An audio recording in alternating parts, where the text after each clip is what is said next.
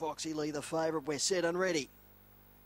Racing. Miss Foxy Lee began beautifully. She's looking for the lead. Mulloway is punching up, but she can't hold her out, and Miss Foxy Lee assumed control.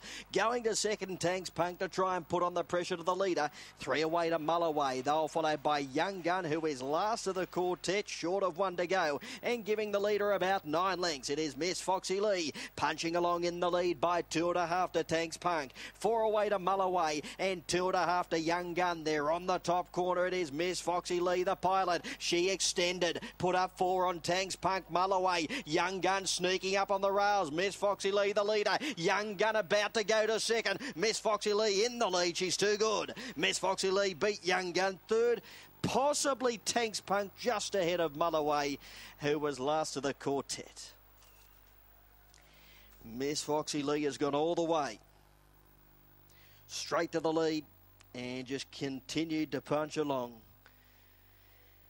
out in front, and she's been too good in 42.37, 42.37 the time.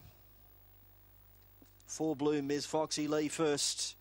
Eight, the pink young gunners run second. Judge poring over the computer image for third and fourth between Mulloway and Tanks Punk. 5.49 the early section and then 16.24, 29.69 and 42.37 the overall time. 42.37 the overall time. Officially 4.8. 2 Mulloway has run third just ahead of 7 Tanks Punk. So it is 4.82 and 7.